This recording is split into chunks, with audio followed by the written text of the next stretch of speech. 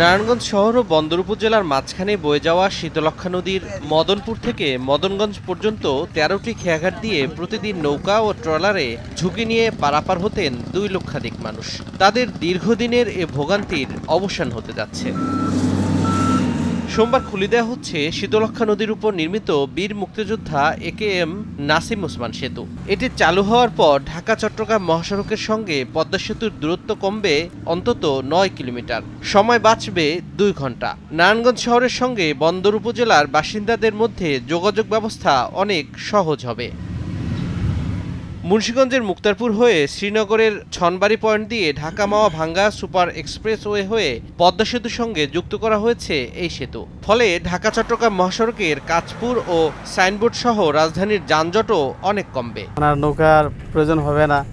সহসাই bridge পার হয়ে আমার এপার থেকে উপরে যাতায়াত করতে পারব। আলহামদুলিল্লাহ আমরা এই সেতুটাকে বাস্তবায়ন করতে পেরেছি। এটা হয়ে গেছে। ছয় লেন বিশিষ্ট সেতুর চার লেনে দ্রুতগতির ভারী যানবাহন এবং নির্ধারিত দুই লেনে চলবে রিক্সা সাইকেল ভ্যান সহ স্বল্পগতির ছোট যান। দুই পাশে রেলিং ঘেঁষে মানুষের চলাচলের জন্য ফুটপাত রাখায় পায়ে হেঁটেও পার হওয়া যাবে সেতুটি। ব্রিজ হওয়াতে দুই সাইডে কলকারখানা কারখানা হবে যা বেকার কর্মজীবী আছে তাদের কর্মস্থান সংস্থার ব্যবস্থা হবে।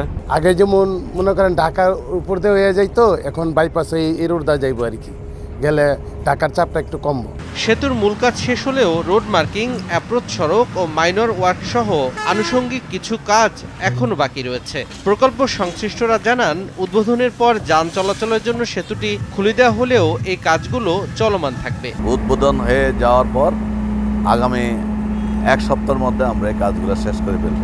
এক কিলোমিটার দৈর্ঘ্যের এই সেতু নির্মাণে ব্যয় হয়েছে চারশো ছাপ্পান্ন কোটি টাকা। নদীর গভীরে পাঁচটি সহ মোট আটত্রিশটি খুঁটির উপর নির্মাণ করা হয়েছে স্থাপনাটি।